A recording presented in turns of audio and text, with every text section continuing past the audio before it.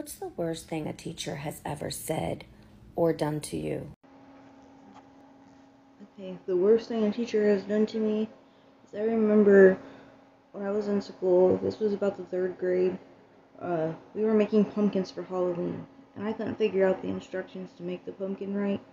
So the teacher tried to help me, and I just couldn't get it right. And this was before I was diagnosed with autism or any other learning issues that I had.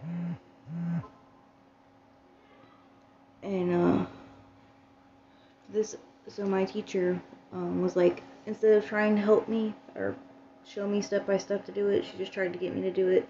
She's like, "How about we don't make it?"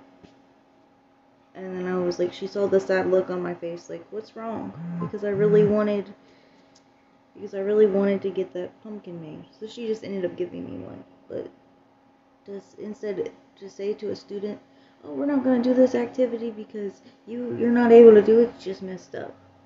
Because you know, I was excited to make it, and it really just ticks me off. Another time, a teacher was mean to me was in uh, high school. She said, "If you ever, if you were meant to be a model, or if you were meant to be successful, you would already been. They would already scoped you out." It's like, how do you say that to somebody in high school? You know.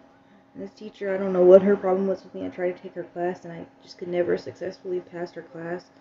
She was like, "Well, they would have already scoped you out." How would they have already scoped me out? Because I haven't been around the world to be seen.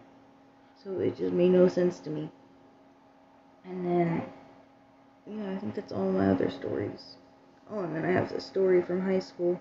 They wouldn't let me take cosmetology school at the the career center. And this is career center is like a vocational school. They wouldn't let me take it because I had an IEP. And they wondered why I dropped out because they wouldn't let me take cosmetology school. They said my IQ wasn't high enough. But I was good at ma- wearing wigs, doing wigs, and doing makeup. And they saw this, but they still wouldn't let me take my take the course I wanted, which was unfair. And then they wondered why I dropped out. Well, I dropped out because you guys wouldn't let me do what the fuck I wanted to do.